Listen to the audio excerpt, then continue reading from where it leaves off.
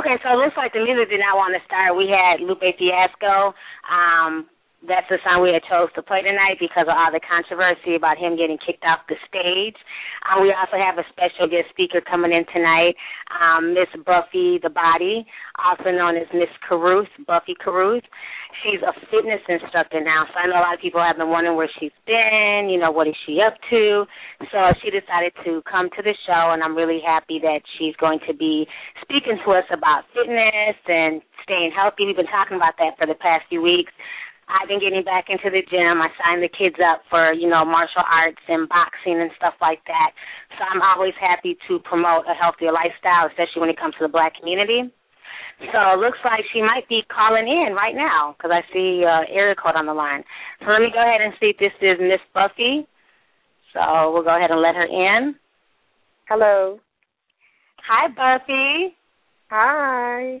Hey, what's up? Thank you so much for calling into the show. And I'm sorry we we was having a few technical difficulties, but it looks like we're on the air now. We're good. And how are no you doing problem. tonight?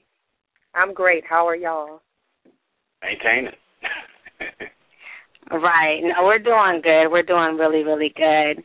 So um, we have some people in the chat room now. So we're just going to get the show started. So I'm just going to ask you a few questions. And then, um, you know, for a lot of people who don't exactly know who you are, what you did, if you want to just go ahead and introduce yourself to our audience. I'm Buffie the Body. Um, most people probably probably know me as the video girl. Um, I started modeling, doing the urban urban modeling back in the latter part of 2004. Um, 2005 is when you know I really became on the scene and on the scenes and um a household name. So um and now I'm doing the fitness um bodynomics.com. Okay. Right, and that's how I, uh, that's how I ran across Buffie. Um, one of my videos was playing. I was on YouTube, and I happened to see her video come up alongside mine. And I was like, "Oh my goodness, she's doing fitness videos!" And when I watched the first one, I just kind of got hooked. And so I was practicing along with you and listening to a lot of your tips. And you know, and I'm always happy to see anybody trying to better themselves, trying to better other people, especially being that there's so many myths out here about exercise and fitness, especially regarding the African American community. Um, and one of the the biggest myths out there is that black women do not work out. So, Buffie, why do you think this is a myth, and do you believe that myth? Um, for the most part, um, there is truth in it because Mhm. um I think most of it um one thing is of course our hair. We don't want to mess up our hair. And then just Right. the fact that, you know, growing up, I grew up in the South and it was always like I didn't grow up in a family that went to the gym and exercised and ate right. We ate, you know, things that's considered bad for you like we grew up we grew up off neck bones and pig feet and cornbread and you know Right. things like that. So you know, and it was you know we was told as kids to clean your plate, you know, um, put some meat Mhm. on your bones. You know, no one wanted to you know wanted to be skinny, so that's how I grew up. You know, you know, making sure you clean your plate and eating you know whatever to get by. You know, so yeah, it, it's not really you know a myth because there are, you know, it, it's been hard trying to get our our women women to work out. So you know, it's. But I think a lot of us are becoming more health conscious, and I love to see that. And you know, I like when women email me and tell me I've inspired them, and oh my God, you know, if you can work out and you're thick, I can work out too now. So I've inspired a lot of ladies, and I'm so so so happy um because of that. Right, and I definitely understand that, and I agree with you. And I think, um, in a way, a myth, but in a way, it's sad, but it's true that a lot of black women Yeah, exactly. or women of color do not like to work out. And you said it. You said it. A lot of it comes down to our hair, and I'm natural, so it, it doesn't really matter for me because I can just, you know, wash my hair, whatever. But I do agree, like sometimes I like to have like weaves and sew-ins and stuff, especially when you don't pay somebody a hundred dollars to sew some tracks in your hair and you got a perm. You don't want to sweat it out because you know you have to pay to get it fixed again. So I understand yeah. that, but what I want a lot of our women to realize is that you know it don't make no sense to be casket sharp. you know what I'm saying? They say in the South, casket sharp. You look beautiful, your hair's done, but your heart is a mess or you can't breathe exactly. or you can't walk a few steps without being out of breath. And it's not about exactly. being super skinny because we all come in different shapes and sizes, but even just something as simple as just walking, getting exercise. You know, you don't necessarily need to join a gym membership, but a lot of us haven't misconstrued the difference between thick and fat. And if you could just go ahead and address that, because a lot of people love to say, "Well, I'm thick, I'm thick," and nah, not really. I think um if you got your midsection, which is the main important part of the body, mm-hmm. you know, anything above the waist is where they the you know, researchers and scientists or doctors or physician nurses, that's where they don't want the fat at. So I feel like if you got that midsection together, anything below the body but, but below the waist, you're doing okay. So a lot of right. these women there's no way in the world you can say that you're thick if you have a lot of, you know, midsection. If you have a lot of stomach, there's no way in the world you're considered thick. The only way I can consider a female thick if you have your midsection together and mm-hmm. the lower part is thicker because you know they say that um having you know excess excess um fat on the hips supposed to help protect from type two diabetes. So you know, mhm. Um, it's good to have. So now, what is it that they're saying, Buffie? Because I know you're a nutritionist. Because I, I've heard other fitness trainers say this about if you have a stomach, like if you gain weight in your stomach, that's not good health wise. Could you speak on that? Because of the um, you know, you have your internal organs up in the abdomen area, so that's why they don't want any of the fat hanging around in that area because of the organs. Okay, so that makes a lot of sense then. So yeah, you definitely broke it down, and I agree with you. You know that you can be thick, but if your stomach is hanging over, if you got a big belly, that's that's not thick because you definitely have to work on that because a lot of people are saying that a lot of our health issues, especially with high blood pressure, diabetes, and things like that, are coming from overeating and oh, you know, eating the wrong foods, and all that goes to your midsection. So you definitely got to keep that tight. exactly. So now I want to ask you, Buffie, what type of um workout outfits uh would you recommend for people to wear to the gym from like head to toe?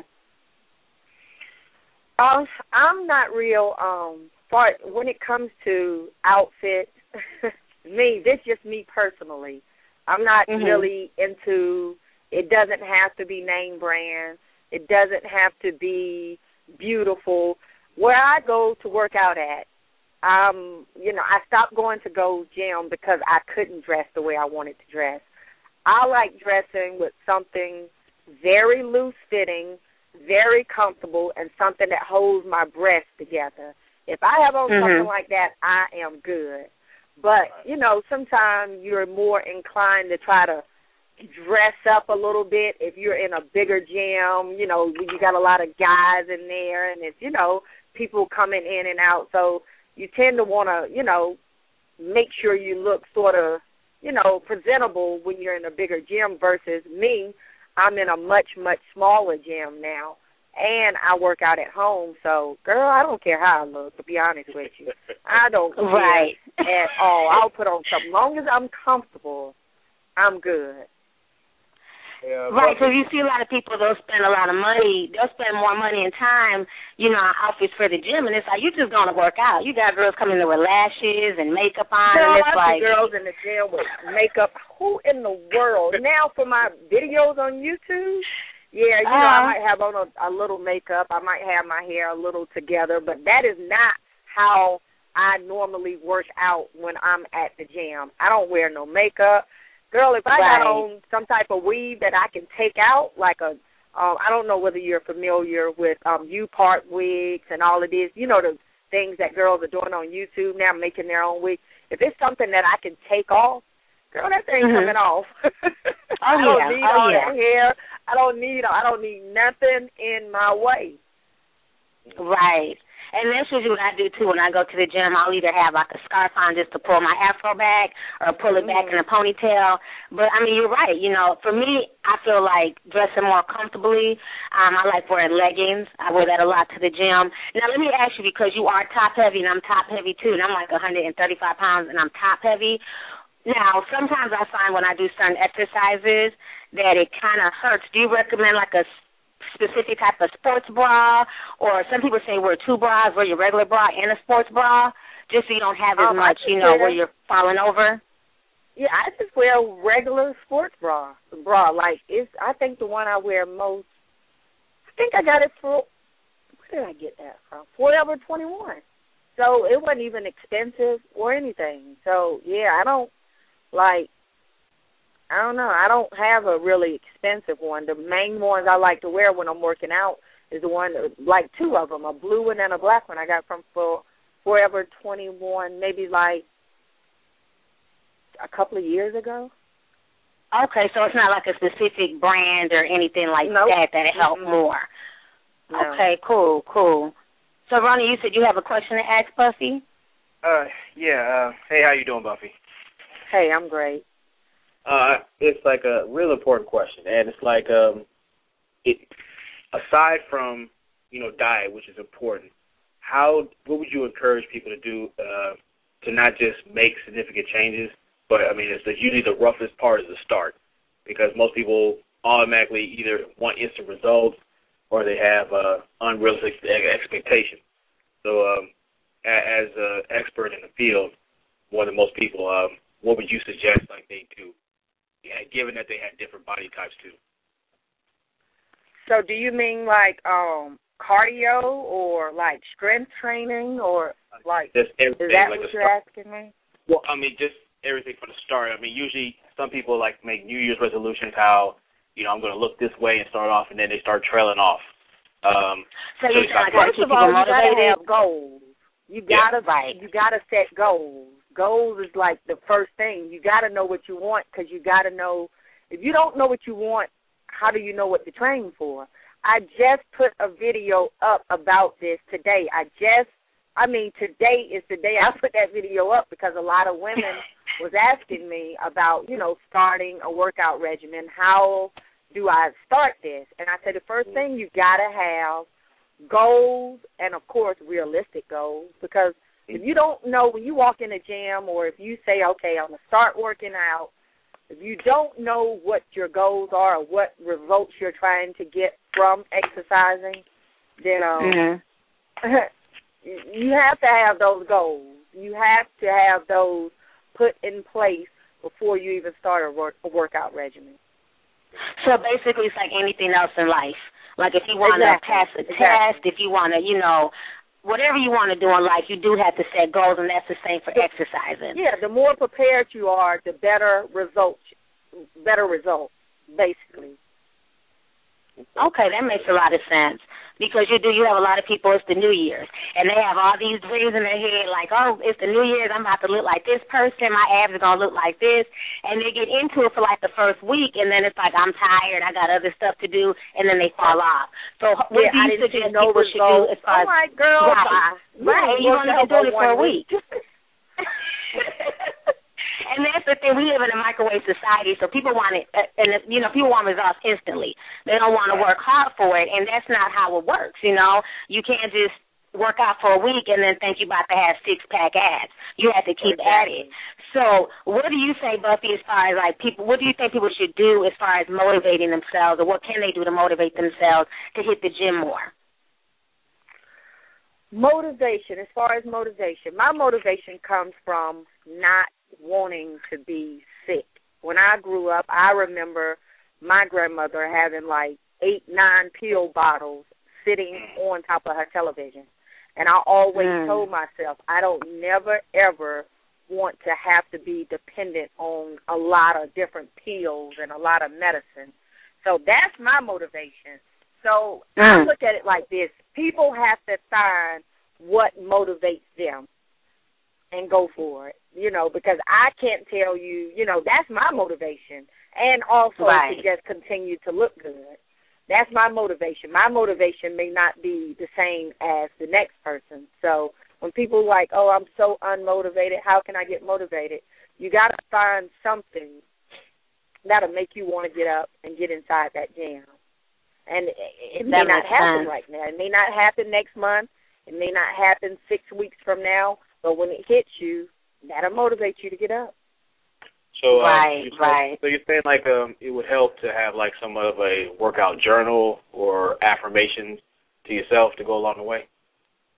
Yeah, that helps because I've been working out for a while now, and I still have, you know, journals. When I work out, I still write down what I do, and you know, I keep a log of what I do because you know sometimes you work out and then you go back um a couple of days later and you forget like how many reps did I do of this or how many like what was the poundage I lift last time. So yeah, even with me being somewhat experienced with my workouts, I still keep logs. Okay, that makes a lot of sense. So let me ask you, how important are measurements? Because sometimes I, I was watching your video how you were measuring yourself. Because I think before I was mm-hmm. kind of messing up. Because I kind of get like mm-hmm. my hips and my butt area confused because you kind of think it's Mhm. all in one. So I love the fact that you put that video up there. How important is it to measure yourself before you start a workout so that way you can see, you know, where you started, where you finished? Yeah, 'cause that's what I go by mo- mainly. Like I carry a tape measure in my gym bag. Um, I don't. I'm not really big on the scale. I do have a scale in both of my, well, all of my bathrooms. But um, and I do stand on them. I do, you know, stand on them. That's just habit to get on to jump up on the scale when you get out of the shower or whatever. But um, to me, the tape measure tells a lot more. Uh, It, it's just so much better because you know whether your Okay. butt has gotten bigger or your thighs has gotten smaller or if your biceps if a guy's working out his biceps to you know keep his biceps measured because you don't really know what's getting bigger or smaller when you're just standing on the scale Right. That makes sense. I never thought about that because sometimes as women, we go off of that scale and we get so disappointed. Like, okay, I've been working out for a week straight. I've been watching what I eat, but I've only lost a pound. But you're not realizing that you're losing, you know, the fat around your stomach or your arms are getting thinner. So that makes a lot of sense to carry measuring tape. mhm And, I'm uh, definitely Buffie- gonna start doing that. Uh, now here's a question, Buffie. It's like um, it usually helps people when you share a testimony with them. So like when you first started in this path, um, how did you feel? How that work out from that point on? Like what kept you going when I like come out like from day when I one? just started work Yeah, from day one when you was like, this is the route you was gonna go. Like, what was going through your mind, and what what did you do to like get to this point right now? Well, my journey started over 15, 15, 16, 17 years ago because I struggle with being skinny. Like I've never had a overweight issue. I always had an underweight issue. Like it's sort of the underweight thing sort of runs in my family. So it was Mhm. like there's no way in the world I'm going to live the rest of my life being skinny. There's no way in the world. So like I said, mine started 17, 18 years ago, and that's like it's been a mission of mine up until right now because I still sometimes lose appetite and don't eat as much. And sometimes I eat too much, but then it sometimes I don't. So I still sometimes struggle with making sure I have enough calories in. And now that I work out, I have to have even more calories to keep my shape together. You know, to keep my body together. So mhm. weight and trying to eat and then trying to eat healthy has been my major struggle. The exercise part is not as hard for me. The eating right and eating enough, I think, is my main. If I had to say one main struggle I have with exercise, and that would be my diet. Mm. That makes what, uh, sense. that's what a lot of us been told. Is like you can work out, work out all you want, but you have to pay attention to like your body type and especially your diet because Mhm. there's many people who uh they they hit it hard at the gym, but then they're doing like donut curls or you know eating excess of food and wonder why it's not happening. Yeah, it has. I'm I'm not I would never consider myself an expert because even though I'm certified to um I I became certified back in June through the National mm-hmm. Academy of Sports Medicine. So I am certified, but I don't really practice in the personal training field. Like when I got my certification, well, I knew before I got my certification that I didn't want to be a personal trainer. So I don't practice in that field at all. I consider myself more a a person that brings the information, puts the information out there, more like a more like a a promoter of fitness and health and I make sure the information get out there and tell women how, you know, to do this. But the personal one on one thing, I've never, you know, wanted to do that. So there's still a lot of things. That's why I don't consider myself an expert. There's still still mm-hmm. a lot of things that I don't even know. Like far as nutrition, there's a lot of things I'm still learning. So sometimes I even learn things from other females. Like on my Facebook page, I learn a lot of things from other females. You know, things that I may not be real versed in, somebody else may be. So yeah, I'm still learning. I have a lot to learn. So I will never ever say that I'm an expert because I'm not.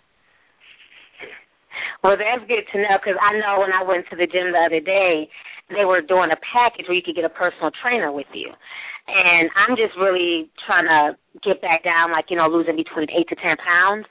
So they had this package, and basically they have a personal trainer help you with nutrition and working out and everything. It was going to cost anywhere from eight to a thousand dollars you know, and I was just like, I'm not paying for that. I just want to motivate myself and do what I need to do. So I definitely agree with you that people can do things. You don't necessarily need a personal trainer, but I'm glad that you are out there online motivating people. Because even though somebody may not be able to afford a personal trainer, they can come to your channel and see all the things you do, and that's enough to motivate somebody. Because I say all you have to do is just get started. Just getting started is the hardest part.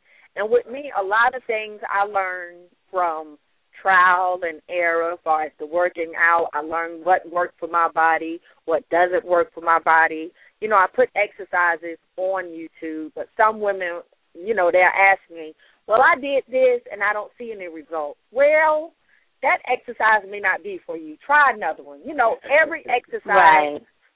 is not for everyone. Like squats may give this girl over here better results than it gives this girl over here.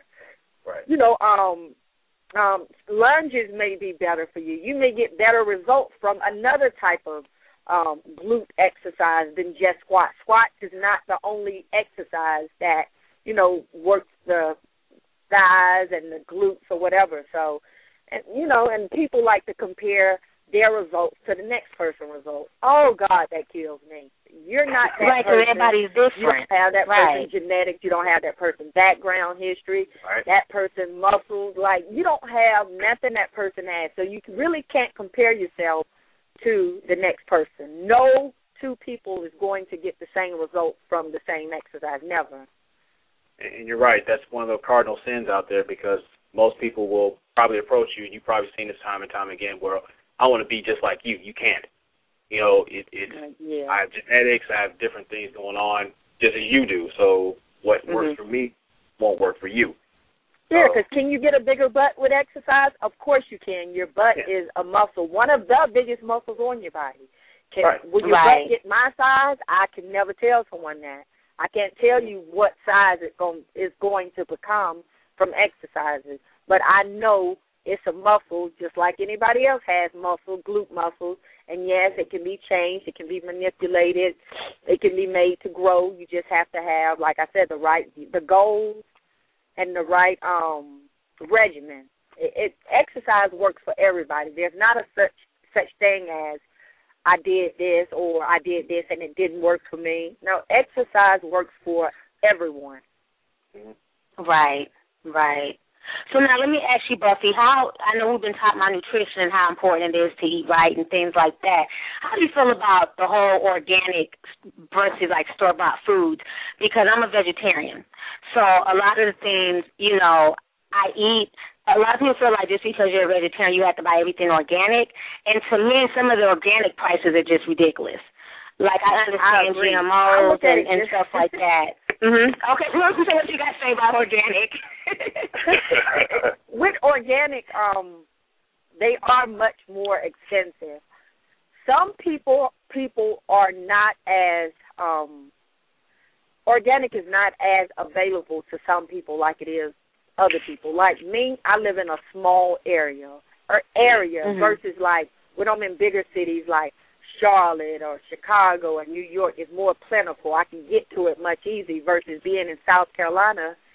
It, it's just not as plentiful as being in a bigger city. That's one thing. The second thing is if you're used to eating junk food, and if you go to vegetables that's not organic, you're still making a leap to a better, you know, direction. Even if your vegetables right. are not organic, if you're used to eating a lot of BS, and if you mm-hmm. can't go from there to organic, but you can go from there to vegetables that's not organic, then I, I tell people you've made a big step. Don't try to jump, you know, start from not walking at all to running. You got to start really small and work your way little by little. Even like you know, right. with me, I don't eat everything organic. Like I rarely, I rarely eat organic. I'm just right. like where I'm at now is much better better than it was a couple of years ago. So I've made changes, but I'm still not on the big. I'm not a big organic person. You know what? And I've always thought personally, like, because at first when I first became a vegetarian, I was on there like, oh my gosh, I got to get everything organic. And then, you know, once you compare the prices and it's like this is kind of ridiculous how much they're charging. Y'all want us to be healthy, y'all saying this is healthy, but then y'all's charging twice as much as the regular product. So these uh, organic bananas cost, you know, three dollars a pound, whereas the regular ones cost a dollar fifty. So you exactly. know, it, it kind of makes you think like, okay, is this really organic? Are you guys really trying to help us? Or is it a scam? Because some people exactly. say that the whole organic thing is kind of a scam as well, you know, because who's to say that it's really organic? It's just a sticker when you exactly. think about it. You really, oh my God, that's one thing I'm just so adamant about. With all of this stuff, people trying to change this, change that, and you really never know the truth, and that's what sort of bugs me out sometimes because one minute they saying canola oil is cool. Next minute they saying that it's one of the worst oils you can. I'm like, oh, right. just saying that canola was cool. So it's like science just seems like it's changed. Like when we grew up, milk, drink your milk, drink your milk, milk, milk, milk. Now they saying Right. milk is one of the worst things you can drink. I'm like, are y'all kidding me? Right. If it ain't one thing, it's another. I was like, you might as well say all the foods are killing us. Exactly. You know, it, it, it's crazy. exactly. Well, that is a bad it's like thing. on top of that, the you know, on top of that, like the the meats and stuff, and like the GMOs and the things that they're pumping into the meats. How do you feel about that? Because, like I was saying in that email, you have a lot of young girls out here who are between the ages of eight and eleven, and they literally look like they're thirteen to fifteen years old. You know, you got little girls who are developing breasts a lot earlier, hips, butts. You know, so do you think a lot of that is coming from the foods and the and the things that they're putting into the meats? What do you think about the hormones and things like that? Yeah, they say that's where it's coming from. I'm not sure myself, but that's what they say. All of this genetically modified um food is that's where it's coming from. So I'm like, wow. Yeah, I, I don't know much about that type of stuff, but yeah, I, I've read a lot about it, and yeah, that's what they say. So well, they do put a lot of steroids. you never in really know meat. these days. Yeah, they do put Right. a lot of steroids in meat. Um, a lot of things. That I guess mass production. They'll do some shortcuts, and it does affect uh, us as people and animals. So you figure, like back in the day, thirteen year olds look like thirteen year olds. Now, thirteen year olds look like twenty one year olds.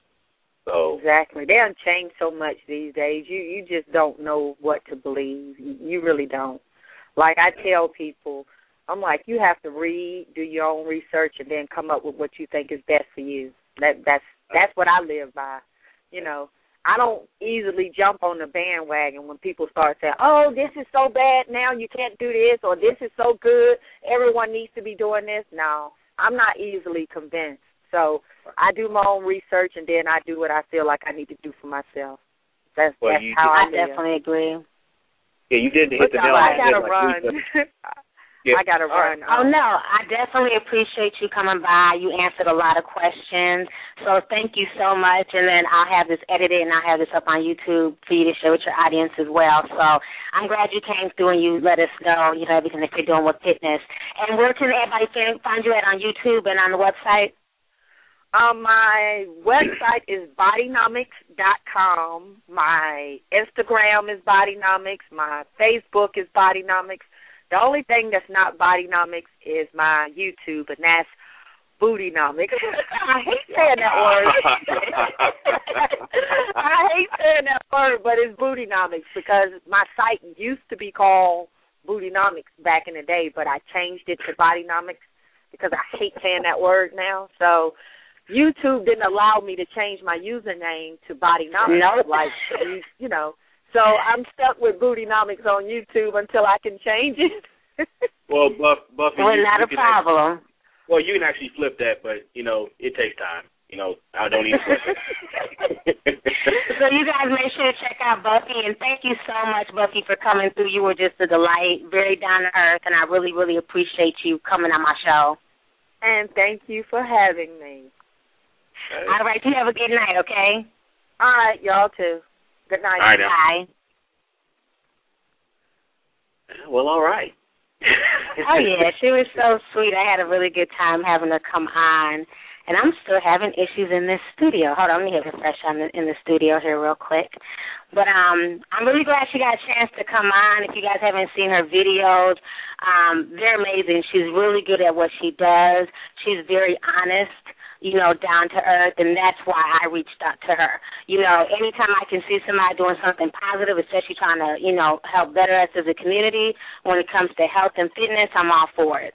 So I'm definitely glad she came through and she, you know, did some knowledge about fitness and working out. She definitely dropped a lot of jewels here. So, you know, as far as everything goes, um, what do you think so far as far as like, you know, health and fitness and in the black community, Ronan? Like, you just feel like we need to start working out more, you know, getting out, stop making excuses, because like she said, there's definitely a big difference between thick and fat. I, I think um, we are the slaves of public opinion, and actually, um, we we do we're very selective of what we do research on. Usually, if we have a bunch of foolishness, we do the most research on that. But when it comes to uh, self improvement, and forward thinking, a lot of times we get very lazy and stagnant on that. Um, as far as the thing with hair and wearing makeup, um, you can't go to the gym trying to look cute. You gotta go and handle business just like you do on the job because it is work. You got to put that work in. Uh, looking like the Joker from Batman, uh, it, it's not part of it's not the business. So it goes from you know your work attire, it goes about your work ethic, your research, everything. It is not is not for the weak at heart or constitution. So while you have, I mean, if you're able to cultivate excuses like right at the drop of a dime, you could put that same energy into sculpting your body. Because um, believe me, once you start doing it, which is what I'm doing right now, you're doing, um, you start to see the results and it starts building your confidence. You know, and people notice a change in you as far as like your uh, your appearance, how you feel, how you respond to people. It's it's like a um, it, it helps a great deal, especially when you start seeing results. And right, it, it does. You know, even for these past two weeks that I've been going to the gym, I've been going like five days a week now. You know, anywhere from an hour to two hours, and it's made a big difference. And like I said, it's really helped my back. My back feels a lot better. You know, yeah. giving me energy and things like that. So I I really enjoy it. And you know, and it's not to to knock our people or make it look like you know all black people are obese and unhealthy. Because there's a lot of black folks out here who work out and who are on their bodies and you know stay on top of their fitness. But we just need to have more because there's a lot of things out here that are affecting us, a lot of things that are being put in the food. So we definitely need to get out and work out and also realize that everybody's body type is different. Everybody's body right. shape is different. So you can't compare your body to Buffie. You can't say, okay, if I do these squats, my butt's going to look just like hers. Like you said, at the end of the day, you have to know what your body type is.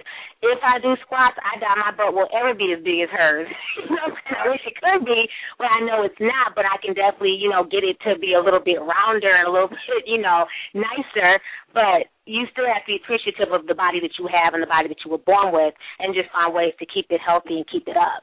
So I'm really happy that she came to the show, and I'm glad everybody's in the chat room seemed to enjoy the interview, and um, people were talking a lot of really good things and talking about their weight and how they're trying to diet and stuff like that. So motivation is definitely the key, Thomas. I definitely agree with you. Danica is asking me to make a video about fitness. Mm-hmm. We'll, well. Well, that's, what I want, well, that's what I want to ask you. Uh, well, that's what I want to say to you and everybody else. Just like when you see Buffie, it's like um, using her for example, it, it, it actually solidifies that saying it's not how you start, it's how you finish. And right. you know how people first perceive you and everything. They talk about first impressions matter. Yeah, that's true, but you don't have to be cemented by those either. Just like for yourself, how you're out there working out and you know you're saying the result like your back feels better. You know you feel a lot more. Um, I mean, you feel the results health wise and actually how you see yourself, that's what you have to focus on. You know, you're not going to be right. like Buck. You're not going to be like T. You're not going to be like anybody else. I mean, you are your own individual, and that's the most important thing you have to work on is your self-image of how you see yourself. Right. Right. And you do you can see it, you know, a lot of times too with with women can be so catty, you know, with the mm-hmm. comments or feeling some type of way. And like I always tell you, like even when people leave me nasty comments on YouTube, a lot of it is insecurity.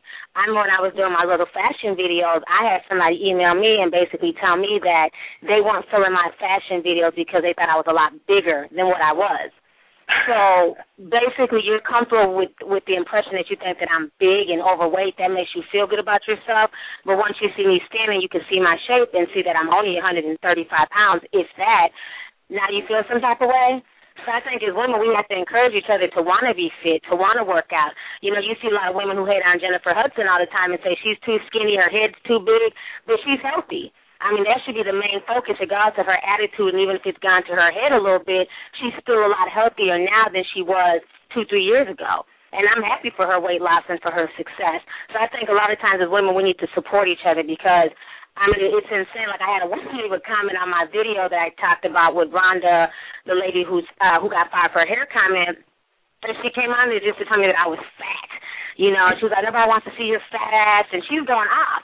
And I'm like, right. you know, um, what does this have to do with the topic of hair? And I just told her basically, you know, thank you, you know, it is what it is. But it, right. but then this girl's picture, like you know, you can see people's icon pictures. She looked like a watermelon. And it's like you you want to sit here and talk about somebody else, but you really don't look too thin from that icon picture I see either. You know, so a lot of times, you know, a lot of women have a lot of self esteem issues. A lot of women like to throw a lot of shade and a lot of salt. Well, really, all they have to do is get up, work out, and take care of themselves. Because if you know um, if you're comfortable with your shape and you're comfortable with your body, then nobody can say anything to you. Like I, it doesn't bother me because I know my size. I like my shape. You know, people want to assume that I have breast implants and whatever else, that's fine. You know, I know my body and I'm cool with that. So what I would encourage people to do instead of hating on other folks and, and talking about other people's bodies, make sure your body's on point. Because I've seen comments where people have left her comments saying, oh, I don't like her butt, her butt is too big. But that's her natural shape. She can't help how she's naturally built, and her she has a nice shape. You know, so I think for the people who have so much to say about other people's bodies and their shapes, a lot of them need to take a look in the mirror. And Jamal's well, asking how tall I am. I'm five seven, and with heels on, I'm like five eleven, almost six feet. I love my long, skinny, bony legs. They look like upside down baseball bats. I didn't say yeah, it. I used to be, bro, I used to be so insecure about my skinny legs, like real tight. I used to be so insecure about my legs. But as I as I've gotten older, I don't give a damn. Give me some heels Shit, I don't care. I will walk my little bony legs up and down the runway. No shame here. I love my legs now. My my um my guy's daughter, her legs are bigger than mine, and she's like 11. I think all kids have bigger calves than me. I have like really really skinny legs, but you know it took me a long time to be comfortable with my body type and and my shape, and I am. You know, like I, I don't care. People can make comments. People can be like, ooh, those ain't those shoes. You know, they look too big for your ankles. Your ankles are so skinny. That's fine as long as you're satisfied with your ankles, because I'm satisfied with mine. But but you know what, T? It's like again, a lot of people allow themselves to be willing slaves of public opinion. Just like how they talk about how your legs, or you had that chick talk about say your, your butt's this way, your breasts or whatever, and you look at these people and some look like an upside down three liter bottle, or beer kegs, or busted water heaters. I mean, just handle your business. I mean, if everyone's built a certain way, either endomorph, ectomorph, or mesomorph, you figure out as long as I'm healthy in my size, I'm cool. But actually, when you have those negative opinions out there, use that as uh, as confirmation that you got their attention. They would be. I mean, if you did, if you didn't matter, they wouldn't say anything to you. You know, they they like. Get, I mean, like they like it when you give them a, a platform and a stage to like cut yourself deep down, so you, they get down to your level. So, right. you know, it, I mean, it is what it is. I mean, like when they call you out and say you're you look like this or whatever, I say thank you for noticing. That's what pisses them off because oh, yeah. you didn't you didn't give them what they want. You know, so when you're walking down the run, I mean uh, the runway, you can you think to yourself, at least I'm not leaving potholes down there, or you know I'm not so I'm not taking down pillars or anything. I mean, hey, just knocking you know, other models down the runway. Yeah, I'm not. I'm not. I'm not the two-time Miss Ankles, you know, uh champion. I mean, just you just think about it. Like, you know what? You can help them out by giving them advice. And look, since you noticed what I'm doing, I'll show you how to get legs like these or a midsection like this. You know, you don't have to look like a busted, you know, wedding cake that fell on top of itself. You you can improve yourself. So Right, everybody can. There's no reason for anybody to not be able to. And you know, like I said, it's not about having to spend a lot of money on gym memberships. You can watch Buffie's videos. You can do it from the comfort of your home. You can watch her on your computer and work out with her. And it's not just Buffie; it's a lot of other people. There's a named Lauren London. Um, I do a lot of her videos too. She does standing abs, and I love her standing abs series. So I do that to keep my stomach tight. You know, I have two kids, and I love the fact that people do not believe I have two kids. You know, I don't want anybody to ever see me like she look like she got my six, seven kids. The hell if I do, shit. I love the fact that nobody thinks I have two kids until I open my mouth. You know, so I just I just try to keep myself in shape. It's not easy, and sometimes I want to just pig out and just do me, but nah, I'd rather not do that. But there's a lot of people in the chat room making a lot of good points about working out and and things like that. So this was definitely a really cool show, and I'm once again I'm glad that she decided to come in. So it's been a few little things going on here, and I wanted to kind of bring it up. Um, there's been a lot of controversy going on about the whole inaugurational ball, um, all that drama with um Lupe Fiasco, and now it's come out that Beyonce didn't really sing the Star Spangled Banner. Did you hear anything about this, Ronan? Yeah, I've been hearing about that off and on. Um someone said they were talking about on the I think it's like the Today show where they was mocking her about her lip sync and the uh um the Star Spangled Banner, um, about Lupe Fiasco getting put off the stage and Cornel West getting pissed off about getting uh Obama getting sworn about the uh on Martin Luther King's Bible. I mean there's there's always a whole bunch of uh drama stemming from this. Right. Me personally, I mean, if you're gonna sing it, I, in some ways I understand like lip syncing, you know, the thing, but again, I mean, I, I'm kind of mixed on that situation right there. As far as Lupe Fiasco, he, you know, he exercises freedom Watch of speech. what you say, boo. Yeah, yeah. I mean, hey. That's my baby. Watch what you say about Lupe. no, I mean, I like- Go ahead. Say what you got to say. No, I, I, I like the fact that you know he he stood up, stood for what he believed in and spoke his mind. Now people might not like what he says, but there's some merit to what he says. So I respect him for that. Right. You know. And I just put the video up on on YouTube. Um, I just posted it. And my whole thing with Beyonce lip syncing, like let, let's all be real here. Everybody has heard Beyonce live for the most part. Beyonce um can sing her ass off. I think Beyonce can sing. I think she has a beautiful voice. You know, I feel like when people use pre-recorded tracks, most people use them when they're dancing and when they're doing a lot of stuff. You know, I found it odd that she wanted to use one when she wasn't doing anything but looking pretty. But again, I could understand her wanting to be on the more cautious side because she probably didn't want anything bad to happen, any technical issues, you know, things like that. So I can definitely understand why she chose to do it. But then it kind of looks bad because Kelly Clarkson Kelly Clarkson, excuse me, she sang her ass off. Kelly rocked it, and she sang live. So now people are looking like, okay, this is Kelly Clarkson, American Idol, and she done sang her ass off without a pre-recorded tape. You're supposed to be Queen Beyonce. What's up? So I think that's where some of the controversy is coming in as well. But again, let's not act like Beyonce can't sing because she definitely can sing. Um, as far as the whole Lupe Fiasco situation, y'all know that's my baby daddy in my head. I told y'all before, me and him have twin daughters. Um, I saw that one in the chat room. I was like, uh, okay. But anyway, I love Lupe. He's one of my favorite artists. He's very outspoken.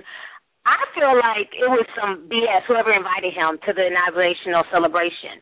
First of all, Lupe has been very open, you know, very honest about how he feels about President Obama, about his policies. So why would somebody invite all the rappers out there? There's like 50 million to choose from. Why would you invite Lupe to an event like that? Like that makes no sense to me. And so he sang was I Never Said, and that's one of my favorite songs. That's what was supposed to play tonight, but Blog Talk Radio is tripping and decided not to play my song. I guess Lupe must be banned for Blog Talk Radio because they did not start the song. But um, he he went in on that song, and he makes so many good points. If you haven't heard that song, you need to listen to it in, in its whole entirety. But my whole situation, I guess the whole situation with Lupe is people were upset, the promoters were mad because he sang or he performed the song for 30 minutes straight. So that's where the drama came in at. They told him after the third time, dude, you need to pick another song. Like, well, you done played this song three times already. And he just kept going and kept going and kept going. But that's Lupe for you. He's a rebel. Um, the song is called Words I Never Said. Thomas. Yeah. So that's the song.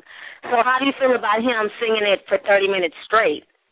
I, I believe he was trying to make a point. I think he was trying to make his. uh his, he was going. He was taking his rebellion stance on certain things. I know he's had uh words about uh many controversial things, even the president. So that's mm-hmm. why I believe that three times. I mean, he could have sang a legion of other songs, which he could. But I think that's why he made that choice to like you guys are not hearing me what I'm saying, so I'm gonna say it again. And that probably pissed quite a few people off, which of course when you speak how you feel, go and do that. And that's why they Right. right, you know what's so crazy is like, you know, even the whole thing with Lupe, you know, with him being up there for 30 minutes uh, performing the same song over and over, I think that he did that to make a stance, to, you know, get his point across. Because when you think about it, when was the last time anybody blogged about Lupe? As far as like the blogs and stuff. No one talks about him because he's not embroiled in a bunch of drama. He doesn't have baby mama drama. He doesn't have, you know, people going at him except for the whole Chief Keef situation. So this is really the only way he can really get a buzz again. And he did it and he got his buzz and people are opening their eyes and once again people are questioning Obama's policies. So I don't disagree with the message that he sent across, but I just know if I pay my money, you're gonna sing more than one song. That's just my personal opinion. I like Lupe too much. If I want to listen to words I never said, I can hear repeat on my MP3 player. I'm gonna need him to play his whole album. That's how I'm in the stands. but now everybody in the chat room is talking about. Here, here goes Rashani. She just started a whole new topic in the chat room. She says, "Does anybody notice how McDonald's foods don't taste the same as they used to? That she's saying that McDonald's foods taste really different now." And a lot of people are saying yes. and I don't eat McDonald's like that. I mean, I rarely, if ever, go to McDonald's. But um, when I have gone, I've had their fries and stuff. They don't taste the same. I like Wendy's fries better. If I have to eat some fries, Wendy's has natural fries. I don't know how natural they are, but they claim they're natural. But McDonald's food just, it, it's not the same. I don't know. How the burgers? Because I haven't had a burger in years. Uh, I really eat McDonald's sparingly. I don't eat it until unless I have to. If anything, I'll eat the breakfast. Boy, I'm used I'm used to like the uh egg McMuffins. That's just one of my weaknesses. But as far as like things with the McRib and the fries now, uh, I can't do it. I just can't. It's just my my my palate is a little different now, so it kind of turns me off. I'm more of a Chick Fil A type dude, so that's what I eat. the McRib just sounds nasty. The McRib. Yeah. Ugh. Yeah, I mean it's it's actually it's no different than what we had as a cafeteria. That same shit. It's like the same thing. No bueno. I'm cool. Not really, ever. Even their salads, you know what, real talk, even their salads don't taste like like they used to. They don't be as fresh. I remember I had to call up to one of the McDonald's out here because my guy went and got me a salad. It was like the Southwest salad, hold the chicken. And so, you know, I'm eating it and it's like wilted. You can tell nobody goes to McDonald's to order salads because obviously the salad had been in the in the refrigerator for like two three days because it was wilted. There were brown spots. It was soggy. So I called up and I was like, you know what? This isn't cool. I need my money back. I need a new salad. So they ended up sending me a coupon for like a different salad. But yeah, I say that a lot of this stuff doesn't really taste good. I don't I don't fool with too much fast food anyways. Um, somebody's saying I'm um, bona fide loving this and telling them that Chipotle is good. And Chipotle is good, and they do have like a really nice vegetarian menu where you can just get, you know, a burrito with like rice and beans. So I like that. But even when I did used to eat meat and I had Chipotle, um, from what I'm hearing, their chicken and their beef are raised on their own farm, so there's no hormones or GMOs pumped into their food. So Chipotle is a really good, healthy choice. But them damn burritos are big. Them some big. They're bigger than my forearms.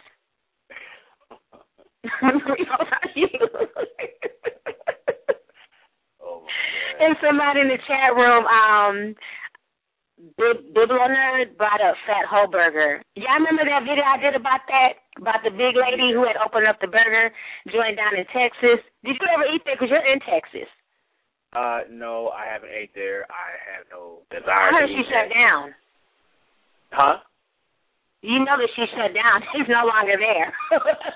well, that that's good because I have no. I mean, just anything with a name that says Fat Ho Burger, I'm cool. Uh, it just doesn't sound promising. It just don't. she made her money though. You know, people was hating on her, but like I said, she could have been doing a lot worse. You know, yeah, Fat Ho Burger with cheese, and it was spelled C H Z. that was like the funniest thing. And I mean, a lot of people came, they went, they ate, but for some reason she couldn't keep her restaurant up because somebody had left a comment a while ago on the video talking about they went down there to go to Fat Ho Burger and it was shut down. uh, well, That's I, I the same, like, remember um Flavor Flav's Chicken Shack? When he had opened up that Chicken Shack restaurant down in uh, Iowa? And that closed out six months later. But I mean, again, it's like when you have like fly by night franchising like that. I personally believe it is a whole lot better to replicate that stuff at home, a lot more healthier than, and then plus you save a lot more money that way, versus like paying six, seven, ten dollars for the same thing you can make in in abundance at home. Honestly, Right. Um, you know, you don't have to fry it or do the things they do because they do that for mass quantities. You can just take your time, bake certain things. Like you can cook, um, you know, the same. You basically put, to make the same thing and be a lot better for it than what you get from the restaurant. So that's what I'm putting. Right.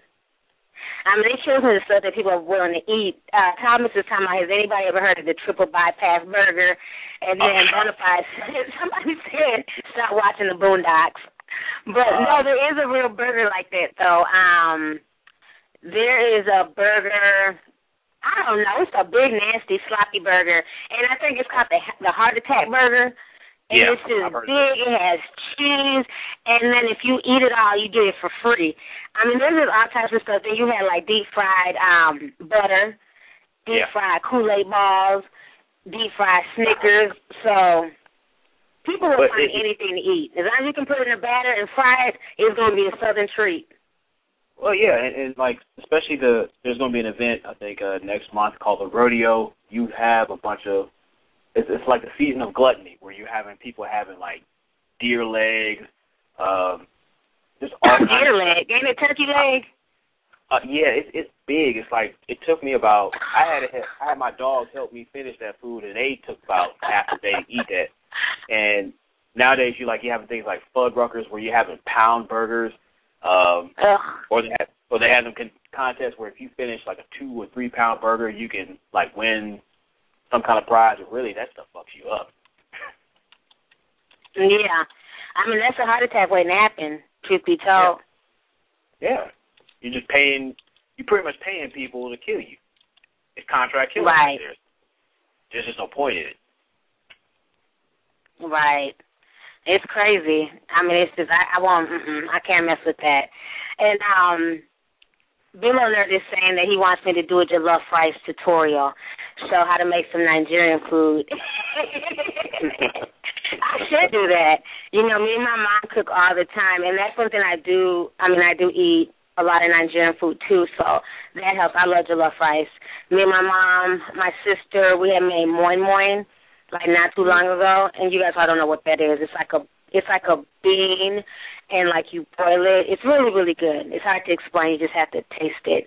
But um, I eat a lot of fufu and you know just different soups, egusi soup, things like that. My kids love Nigerian food, plantains, dodo, everything. We eat it all. Maybe I should make some tutorials on how to make Nigerian food. That'd be cool. Other folks are shouting out their food. People talking about Cajun food and dirty rice. Dirty rice is good. I like that too. Oh, dirty rice. Y'all making me hungry. You know what I had today? A salad. What? Thank you for talking about dirty rice and jollof rice. I appreciate you. Somebody else was talking about Jamaican food. Other folks were talking about Korean food. Thank you. Konnichiwa. when I get off this call, I'm about to go make me something to eat. Uh, oh my goodness. yeah, And you know um? Lacey's talking about curried goat. I haven't had curried goat in years, but I remember I used to love um jerk chicken, the beef patties, and my mom makes a really nice um beef patty. Like we do it's like a Nigerian style beef patty. It's really, really good. Yeah, I'm on I'm on rabbit food, y'all, right now. Just salad for me.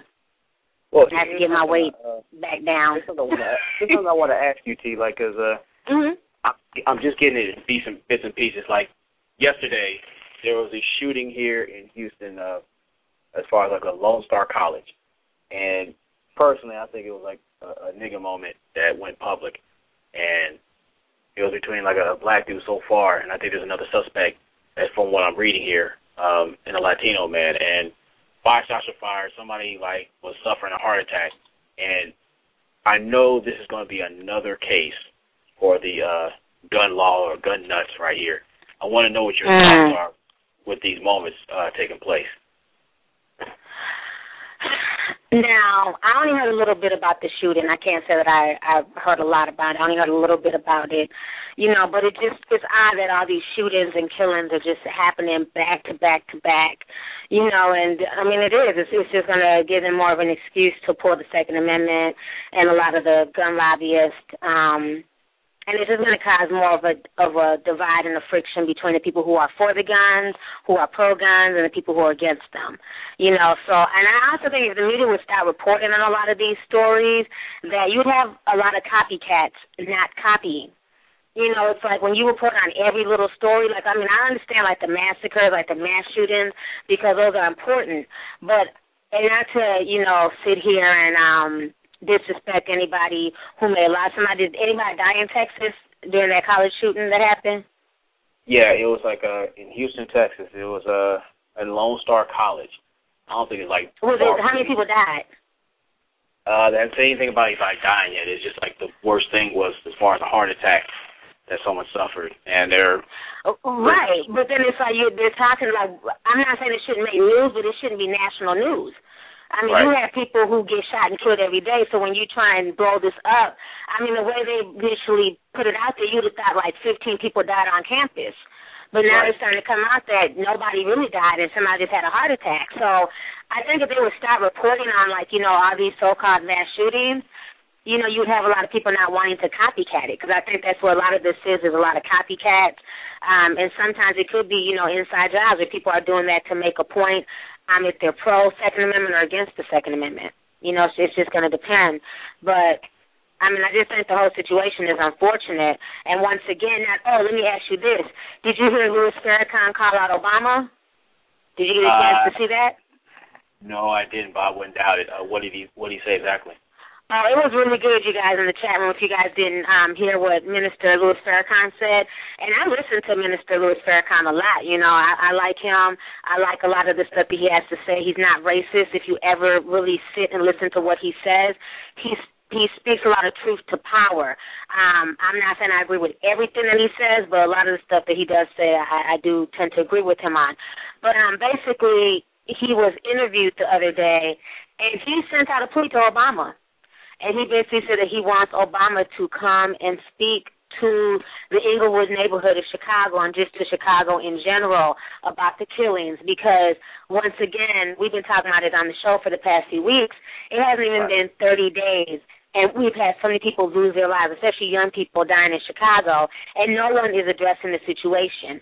Like you said, now all of a sudden national attention is down there in, in Houston with this little college shooting, but you have over 30 people dead, and it hasn't been 30 days in Chicago, and there's no national attention there.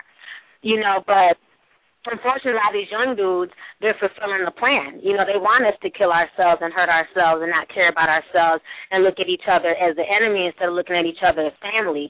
So they're playing right into that plan, unfortunately.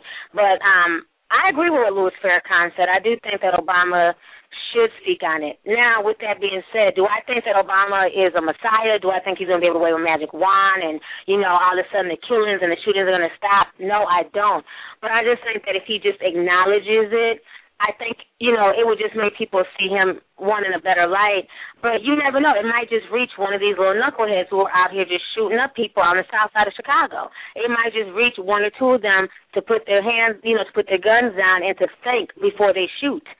You know, so I think he should speak on it personally. I mean, if he can speak on Sandy Hook and everything else, there's no reason why he shouldn't speak on anything dealing with it.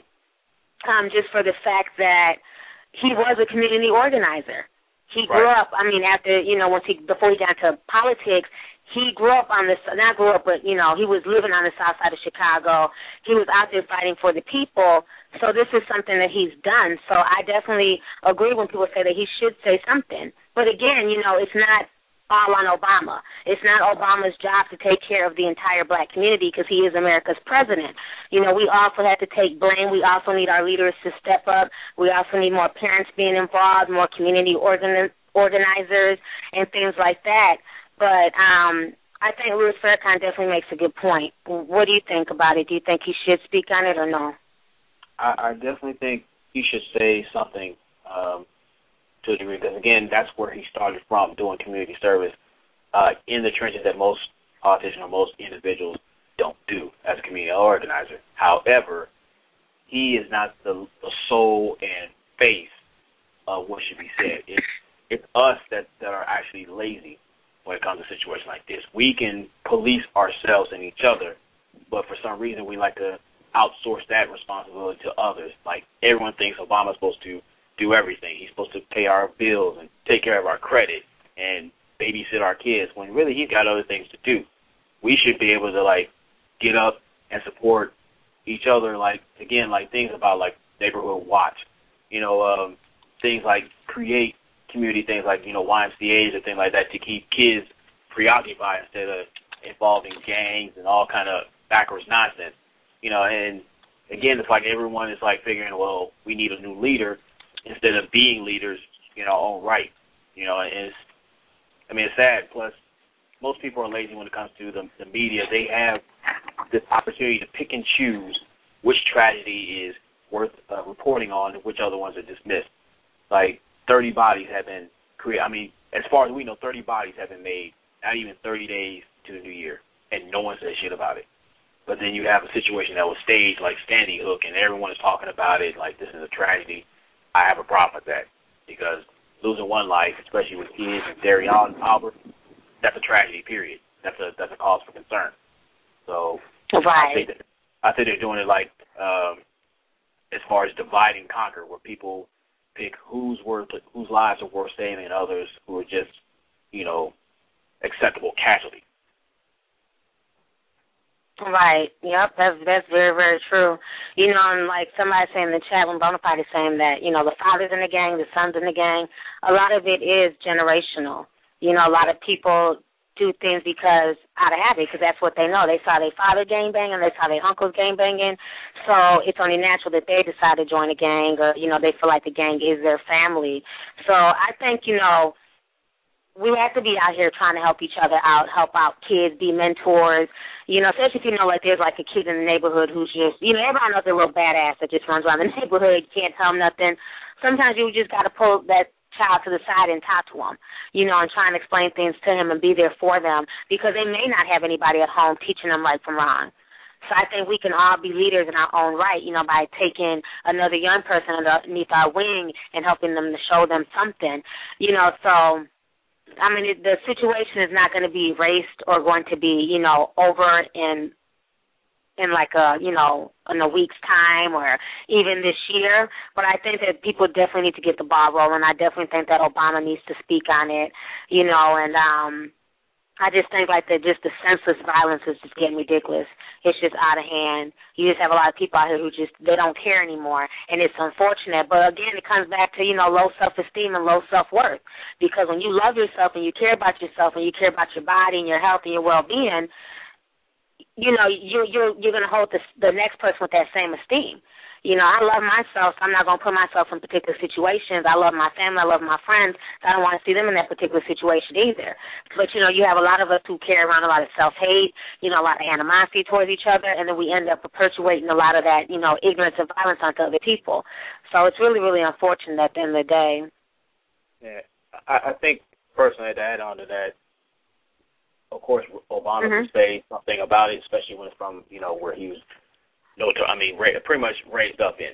But where are the community leaders? Where are the mayors? Where are the, uh, you know, individuals in that area speaking? You don't hear anything. It's like that, uh, that audible silence in there. It's like, well, it's Obama's deal. When that's your district, that's your jurisdiction. You're supposed to be responsible that, you know, responsible for that. Um, right. A lot of people like to put out like, well, the fathers are not in the home, but what about the mothers are still there?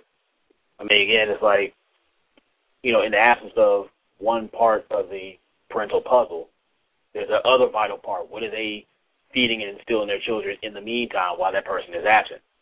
You know, there's a whole lot of outsourcing of blame, but there's so many people who need to take accountability for what we're seeing and doing out here because gangs should not be able to thrive like they've been thriving as of late. Right if the parents are involved, and that's what Bill Leonard is saying in the chat room.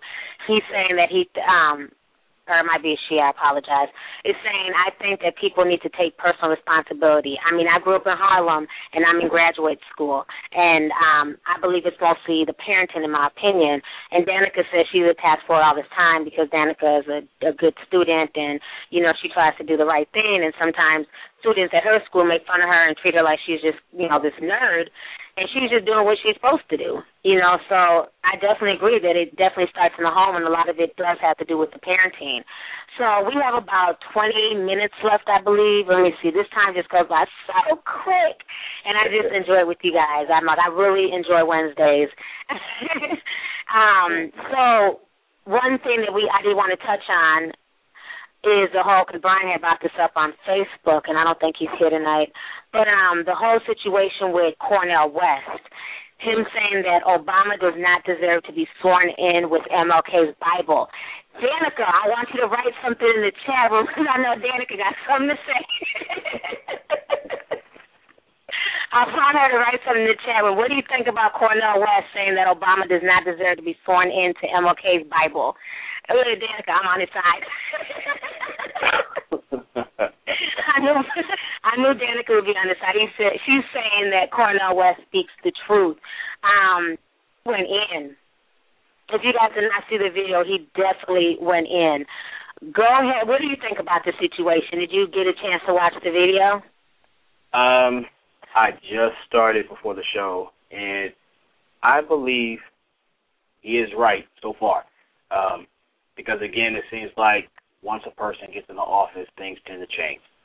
And um, as far as like, I think it's symbolic as to I understand why he's uh, saying what he's saying because again, it's like um, most people have not seen anything, especially in the black community, have not seen anything as far as uh, issues being addressed and whatnot. At least on that part, there should be mention about things that improve that community, and I haven't seen it among others.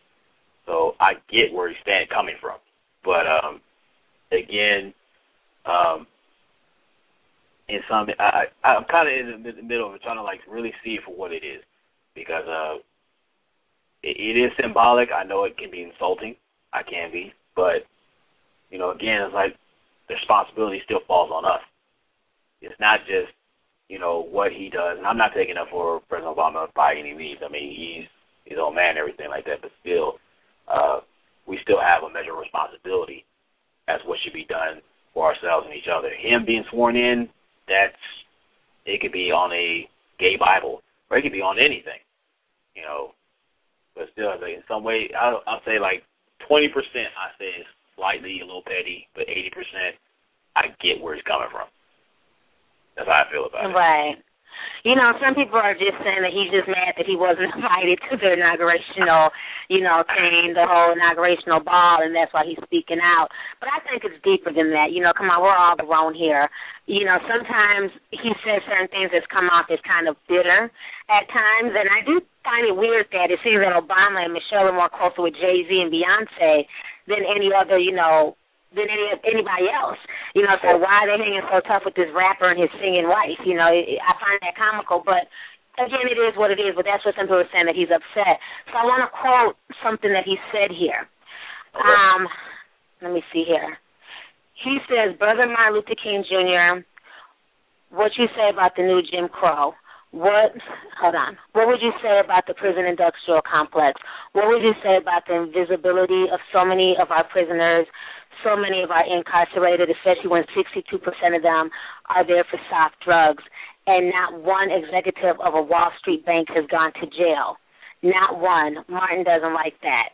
Um, then he's also saying, what would you say? What would Martin say about the wiretapping, the torture under the Bush administration, and then what would he say about the drones uh, on our precious brothers and sisters in Pakistan, Somalia, and Yemen? These are all war crimes, and just like the war crimes in Vietnam that Martin Luther King spoke against. Um, that's why he, that's one of the main reasons why he feels like Obama had no business putting his hand on Martin Luther King's Bible. You know, so I can definitely see his points there. You know, mm-hmm. but again, like I always say, Obama and his drone strikes. I don't agree with those policies. I don't. I don't feel like it's okay to send a drone in to kill a whole community just to get one terrorist. That's BS. You know, that's like if a criminal in my neighborhood does something wrong and the police decide to come into my community where I live and shoot everyone here just to get one criminal, there would be outrage. You know, so I don't agree with that at all. I don't think that, you know, that it should be okay to kill lots of lives just to get one person. But um again, can you just blame Obama though? Is it fair to just say this is Obama's fault? Because again, Obama's a puppet. There's there's people behind him pulling the strings. So I think that's what people need to realize before we just throw all the blame on Obama and say that he's a warmonger and he's a you know horrible president, he's a horrible person. Well, what about the the bankers and the people behind him who are funding him? You know, because yeah. you got to take a lot of that into consideration as well. Uh, you're definitely right about that because a lot of people get stuck with television. They just pick one individual and think they're running the show. No, there are people behind the spotlight, which I tell people there's much more power behind it than on it. And there's other people like the banks uh, and other entities that most people tend to ignore, which is intended to be that way. You know, why do they push for certain policies? Why do they allow certain things to happen? Why are certain transactions taking place the, well, actually in front of people and they don't pay attention to it? So a lot of times it's our fault for not seeing things for what they really are. You know, just pretty much putting on well, Obama's I mean, Obama's the cause of this. Now you have to find out who else is, you know, pulling his strings because he's in a right. cabinet. He's just a face, but you got to see what's behind that face too. Right. And um Camera Lady brought up a really good point in the chat room. She's saying that honestly nobody would know what Martin Luther King would think of us today. It's our speculative, you know, which is very true. But I watched that Boondocks episode, and he said it flat out. That's how he's going to Canada. MLK would be so disappointed, and I'm not trying to make a joke out of it because I highly respect him. But that Boondocks episode, ooh wee. I mean, when you think about it, like if he was to see all the stuff that we're doing now, how we're killing each other, how we can't stand each other, how half of us don't even want to be black, you know, we want to be anything but black you know, it, it's just he probably would go to Canada. He'd be like, you know, I'm cool. I'm out. you know, but it's it's he's probably turning his grave, him and Malcolm X. You know, and I think about that sometimes with how bad we've fallen off as a society and it's not just, you know, the black community, it's just like the morals have fallen off in general. You know what I find so funny is um the fact that Rush Limbaugh, I don't know if you heard this, he started a petition as well to help put the Shawty Lo show back on the air. So, you know, he's throwing jabs at Shawty Lo all the while trying to defend his show. Know, he's like, yeah, he's a drug dealer. Yeah, he has a bunch of baby mamas. But so what? His show should be on the air. So it makes you think of, you know, what are his intentions for him wanting that show to be on the air and to be seen by a lot of people because all he's going to do is use that show as an excuse to make it look like, you know, this is a typical black family. They're all on welfare, this, this, and that. So I just find it really funny that Rush Limbaugh is now involved with the whole Shawty Lo situation. You know, did you hear anything about that? Um, I'm just not hearing about that, but really, it doesn't surprise me because not only do they need material to support these stereotypes, which for some reason people of color love to, I mean, add validity to. But again, that is how a lot of us are perceived um, inside and outside the United States as a whole. They believe that, you know, we are the Shawty Lords out there, that we are the uh, Bad Girls Club. All these negative images, they need that because any right. positive image, any positive image image out there, they have very serious problems uh, accepting that anything like the Cosby Show. Even we don't accept positive images in ourselves. So that's why he's pushing for that too. Because again, like he can get on his radio show and look at all these Negroes acting stupid, you know, acting ratchet. You know, that's what they are. That's what they do. And black folks, especially, they're the most they're, they're the, the serious culprits because they figure like just like you, if you talk uh proper, they say that you're acting white or something different, or you're acting something different. So a lot of times to define your blackness, it has to be something ignorant. It has to be something backwards or stereotypical in order to you know have your ghetto pass or whatever. So I I, I see why he he's supporting it, but you have right. to figure out what is their intent and their support. Right. Exactly, you know, and it's it's crazy. And then they were saying that he got arrested for non paying for not paying child support recently, and then I heard it was just a rumor. So I don't know. Personally, I don't care. I'm over the whole show situation. You know, if the show ends up airing, it is what it is. Like I already said in my video, I have no plans on watching it. So if you want to watch it, feel free to watch it. That's you know the great part of being in America. You can do what you want to do. you know, but the whole situation is just is, is crazy. You know, it just seems like a lot of people don't have you know morals and respect anymore. And like they were saying in the chat room, they're bringing up the Martin Luther King flyer. And there's some new ones this year. If you guys haven't seen them, you guys can just Google them. You know, people using Martin Luther King's picture, you know, photoshopped on some, you know, the rapper's body with a bunch of chains and a leather coat. And, you know, just, this is really sad. You know, just Yeah. shows. And my son, he even told me the other day, because he was born on Martin Luther King's birthday. So he said they were talking about it in class. They were talking about the civil rights movement and he was getting so irritated because me and my son we we talked about a lot of stuff. He said he was getting so irritated in class because of how almost like you know how dumb the kids were acting, like they just had no idea who Martin Luther King was. And he said one of the girls in the classroom asked the teacher and was like, "So was Martin Luther King, you know, so he fought to free the slaves?" And my son was like, "Are you serious? Why would you think?" That, he was like, "The civil rights happened in the '60s. Slavery happened hundreds of years ago. Why would you think that Martin Luther King was around during slavery days?" But this was an honest question that this little girl had. So it just goes to you that we're not educating our children. We're not letting our children know about, you know, the great leaders like Martin Luther King, Malcolm X, you know, Marcus Garvey, and things like that. So it, it's sad. But she was dead serious. She thought Martin Luther King freed the slaves. I wanted to meet her after school. You know, this I could explain to her, but you know, that ain't my place. But it was just like he he couldn't believe it. He was like he could not believe that that was one of her questions, and the teacher was just looking like, "Are you serious?" And then you know they had to break it down to her like, "No, he was not around during slavery days. This was in the '60s when black people, you know, they had separate but equal and things like that." But you know, it, it's crazy, but a lot of the kids growing up nowadays, they don't know anything about Martin Luther King, and I blame the parents. The parents are not teaching them you know, I can't get mad at the little girl. Obviously, her parents have not taught her anything about the civil rights and, you know, um, the Black Power movement and things like that. So it's unfortunate, but we definitely have to do better. We Well, have we to do, do. better. and we're and I say the generations that uh, were before her have failed her and did deal a serious disservice because they have not. I mean, if you had Martin Luther King, Emmett Till, Marcus, uh, I mean Marcus Garvey, Malcolm X, um, Medgar Evers, a legion of people who have fought, died, and and stood against a lot of the atrocities at that time to get to this point. And they come here on modern day. It, it's pretty much the era of the hood booger. And they would look around. It's like I fought and died for this. They'd be outright disappointed, and I would understand because they have people have not learned from their history. They not support themselves and each other. Any opportunity to progress themselves forward as a culture, as individuals, all have been sacrificed to get on World Star Hip Hop or Ghetto Gaggers or any kind of means to get some little 15 seconds of fame. And they throw all that, all those efforts away for nothing. Right. Nothing. Oh yeah, a lot of people making some really good points in the chat room. Um, Blue is saying that she's thankful for her boss when they tutor kids and make them read the letter to um, Birmingham. Um, camera lady is saying that so many things in history are getting omitted and misrepresented in schools. Danica is saying that she works at a daycare and uh she must say that the parent if these are the parents of the today's youth, she's really sad for the youth. So it means like a lot of the parents are just off the dang on chain.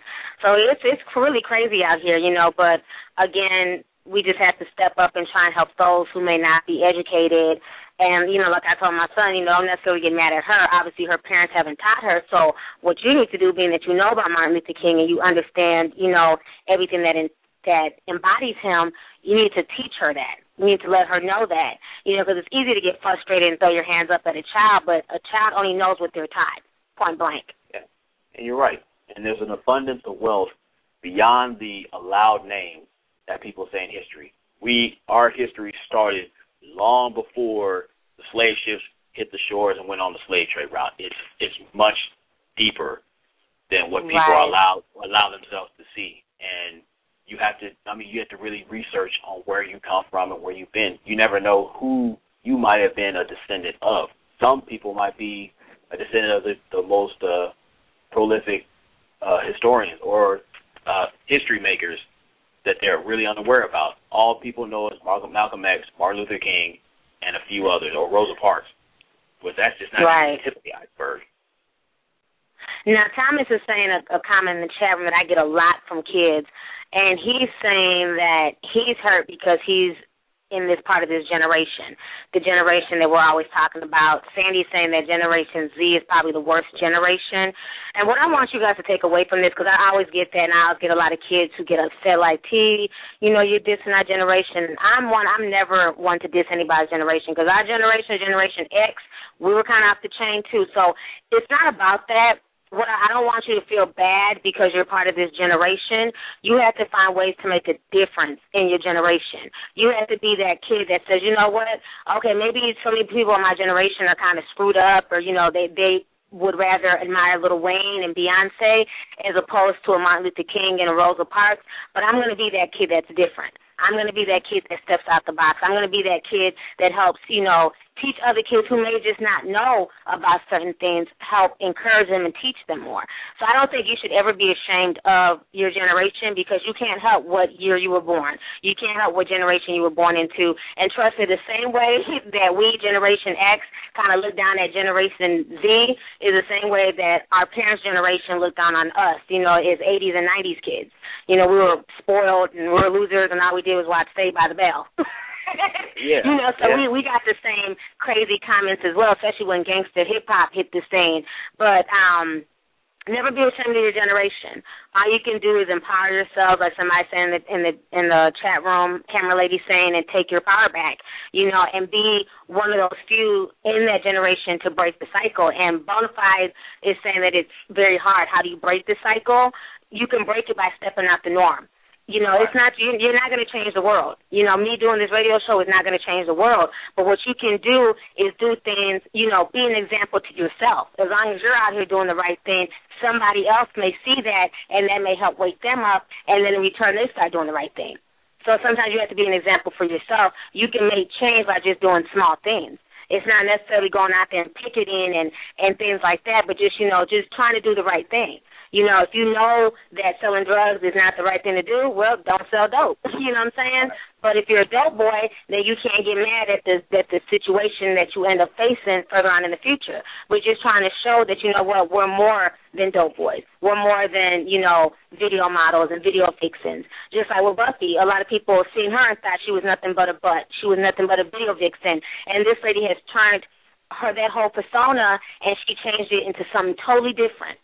You know, now she's turned it into something where she's a fitness um person. She's a fitness promoter. She has her own website. She's bringing in her own income in a positive way.